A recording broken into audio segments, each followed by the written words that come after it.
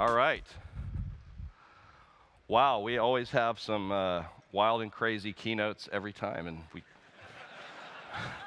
we can always count on Mark to uh, kick it up a notch. Uh, well, a- as I said this morning, I think that um, this one of the most amazing things happening in our community are the operators. And ultimately, in my mind, that's the true north of, of our efforts here to build and operate open infrastructure. Listening to them, learning about what decisions they're making, because ultimately it's up to them, right? And uh, the next speakers have made some good decisions of their own to run their infrastructure. And so I want to introduce Rick Bliss and Jeff Maruschek. Thank you. Thank you. Thank you.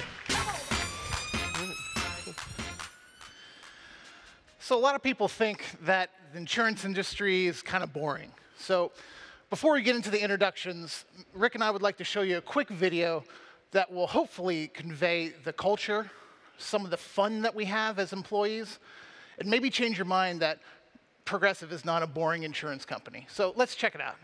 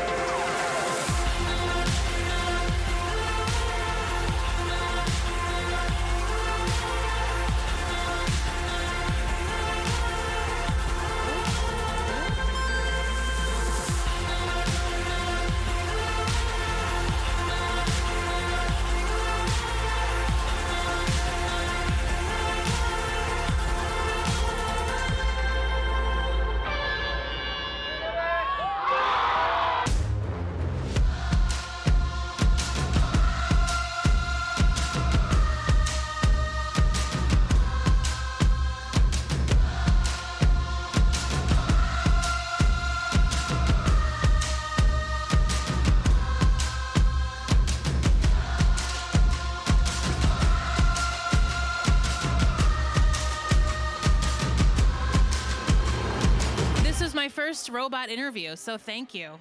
Well, thank you. It's my fir- first robot interview as well.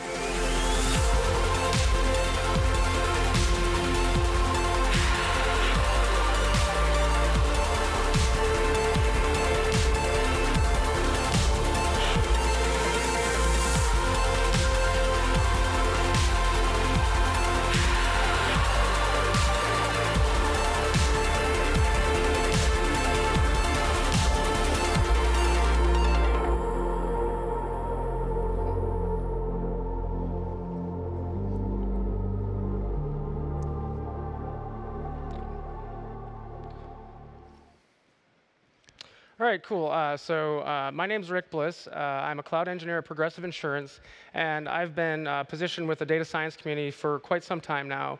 My job's been to figure out how we can deliver infrastructure that uh, satisfies their needs and allows them to get their models to uh, our consumers as fast as possible. And uh, I'm Jeff Maruschek. I've been with Progressive for going on 12 years. I actually started in the data center. I was racking servers, running fiber, uh, and I was kind of looking at this rack over here earlier, like, is that kind of installed right? But I did a lot of Wintel stuff, went, moved up through the tiered organization, and now I'm the server virtualization subject matter expert.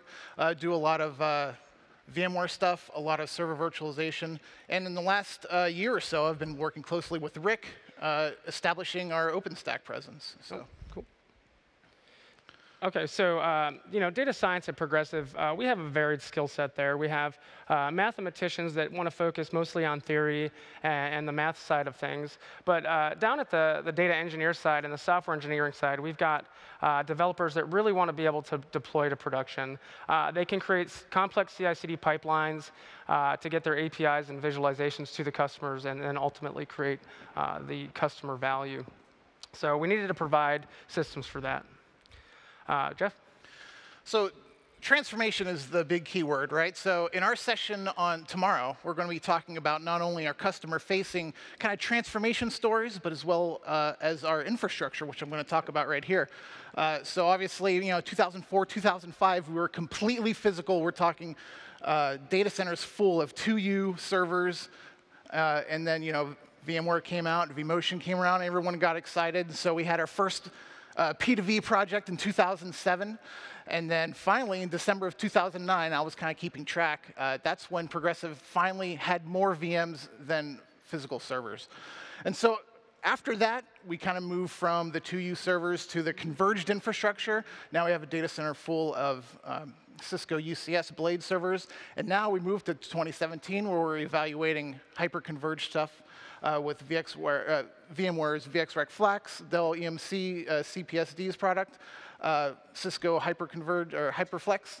Uh, so that's kind of an example of how we're transforming our infrastructure. And below that, you can see the storage, starting with mainframe DASD, external disk arrays, the power vaults, going to fully world-class SAN infrastructure, to today where we have all-flash SAN using EMC's XtremIO. So an example of infrastructure, uh, of how we're transforming. Right.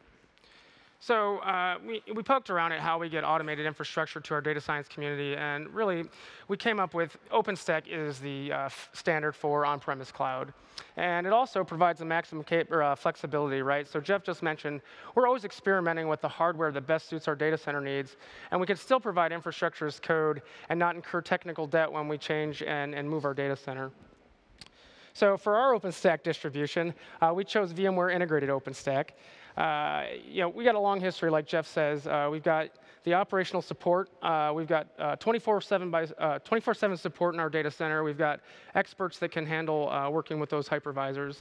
And it lets us do OpenStack with less risk. If we already have the uh, procedures in place, then we can bring the open source APIs of uh, uh, OpenStack to our customers for, for the delivery.